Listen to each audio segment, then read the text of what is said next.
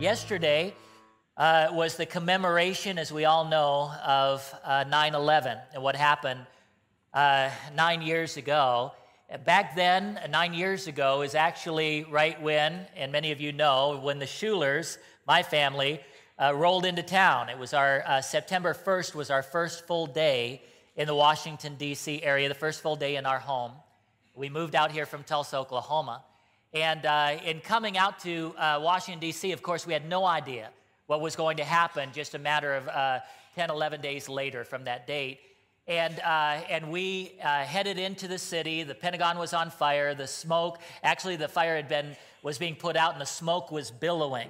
And uh, as the smoke was billowing out, we watched all of this taking place from the freeway, went into the city, and that was when we spotted what would become the prayer center and, uh, and we had a prayer center for two years. Out of that came the church, Capital Life Church. So, in many ways, when we talk about 9 11 and all the tragic things that happened there, what is amazing is God was moving upon the hearts of individuals to come into the DC area with us not knowing what was happening. I've talked with several that came out here to plant ministries and knowing that there would be those that would gather with them and that we would have ministries that would be going on that would just be incredible just incredible uh, you know, opportunities to minister at a moment that was strategic uh, to the heart of our nation.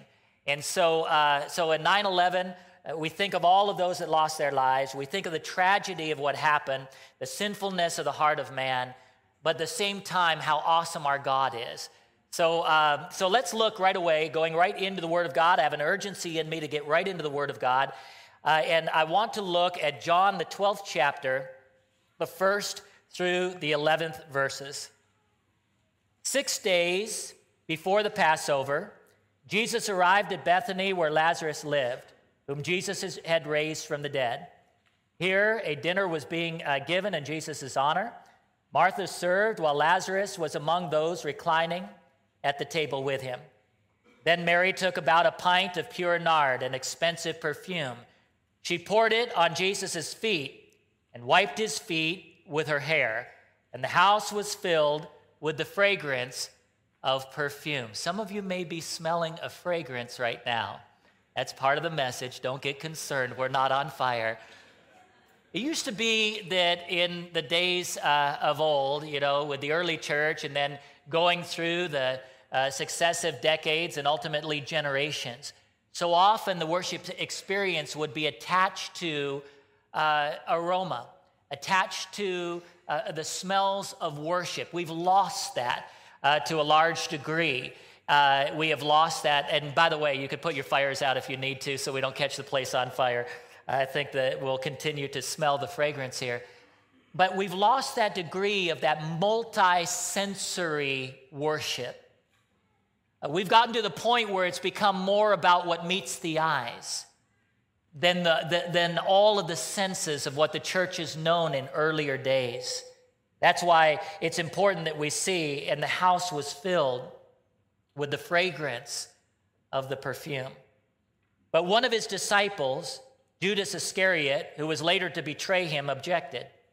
Why wasn't this perfume sold and the money given to the poor? It was worth a year's wages. He did not say this because he cared about the poor but because he was a thief, as keeper of the money bag, uh, he uh, used to help himself to what was put in it.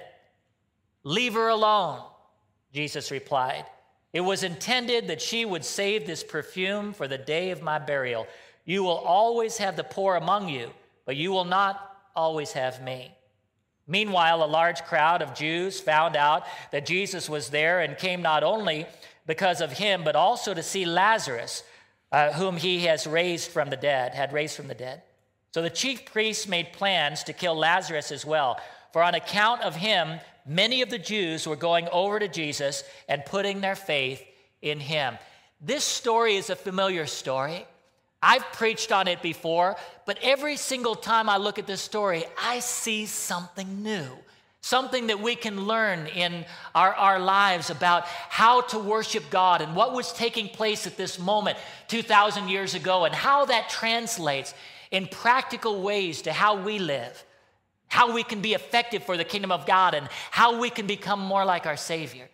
So I want to look through these scriptures and I want to start with that third verse. Then Mary took about a pint of pure nard, an expensive perfume.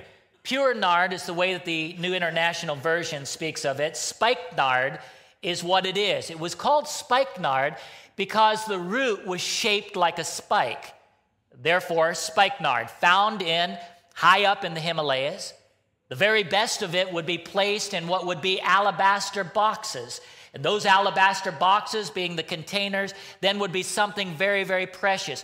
Judas uh, will note the expensive nature of it, that this was worthy of a year's wages, actually, some 300 days of wages. Translated into modern ter- terms, that would be anywhere, uh, it is stated, from $10,000 to 30 or more thousand dollars. That may sound like a great deal. This was a precious uh, ointment. This was something that only those uh, who had the ability to have such a thing would be able to have this, and it would be doled out in very uh, small portions a lifetime through because of the precious nature of what it was.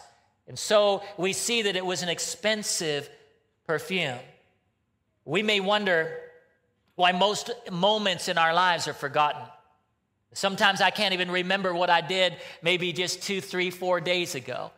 Sometimes it's hard to remember last month's specific dates. If we were to go back to last month's calendar, it'd be very difficult to say what we did on, on certain days we've forgotten. Sometimes with certain people that cross our paths, certain people that are in our lives, uh, you know, somebody will say, Remember so and so, and we won't remember them. We'll they'll talk about somebody that went to college with us or somebody in high school or maybe somebody's uh, you know trying to contact you on facebook and saying i so enjoyed our friendship and you're thinking who in the world is this? You know who is this person?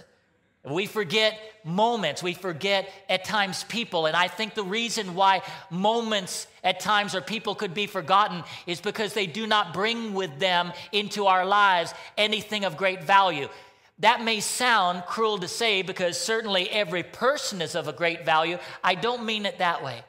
What I mean is, we have a tendency to hold what is great value in our lives and not share it.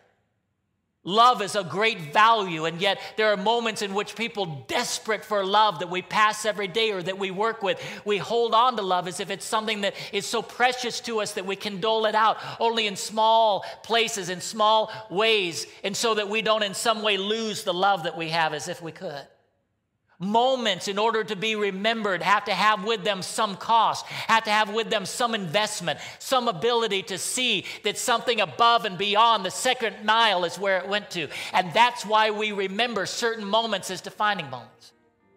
Certain people have had great influence in our lives. Those people, in some way, gave of themselves they gave of their precious time. They gave of their precious uh, love and, and words and counsel. They were there at a moment where we need them. They stood with us in some way.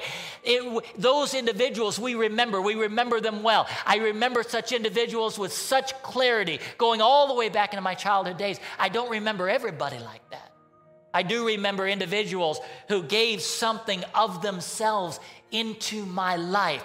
This is a, a, very practical lesson. It's so vital that we know it because we want to make an impact in people's lives. But if we give nothing of value, there will be no investment to be an impact in the days ahead.